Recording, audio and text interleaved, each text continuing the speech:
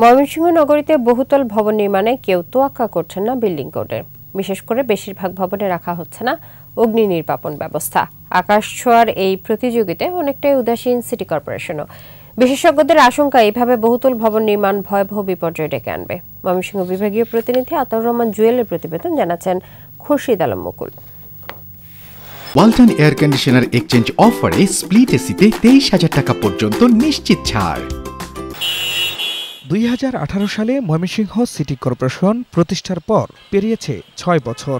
নগরীতে নির্মাণ হচ্ছে একের পর এক বহুতল ভবন। তবে অগ্নি নিরাপত্তা পরিকল্পনা, উপেক্ষা এবং বিল্ডিং কোড না মেনে বহুতল ভবন নির্মাণ করায় দিন দিন বাড়ছে নানান ঝুঁকি।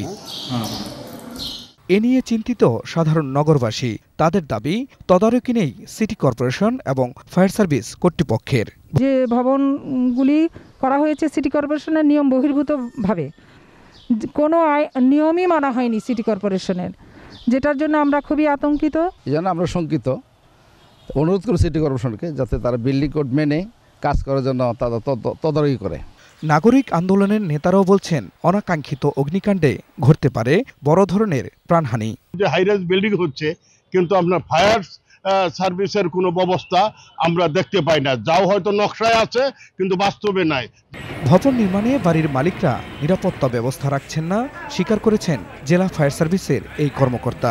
তারা যদি ফায়ার সার্ভিসের আইন ফায়ার সার্ভিসের সেফটি প্ল্যান এবং অগ্নি নিরূপণ যে ব্যবস্থা সেফটি প্ল্যান এবং সেফটি যদি বাস্তবায়ন না করে সেক্ষেত্রে আসলে আমাদের পক্ষে ফায়ার সার্ভিসের পক্ষে একা এটা সব কিছু করা সম্ভব না। তবে সিটি কর্পোরেশন বলছে ফায়ার সেফটি ছাড়া কোনো ভবন নির্মাণের অনুমতি দেয়া হয় না।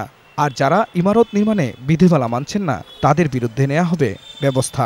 দেখা যাচ্ছে যে অনেকে রাখে আবার অনেকে পর্যাপ্ত করে রাখে না। আবার যেগুলো রাখে সেগুলো দেখা যাচ্ছে তাদের যে ডিস্টিংগুইশ আছে সেগুলো date over হওয়ানো।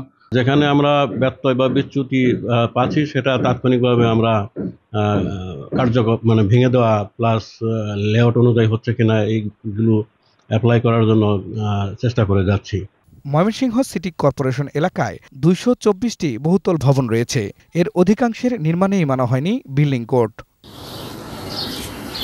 Khurshid Alam Mukul, Ekushey television.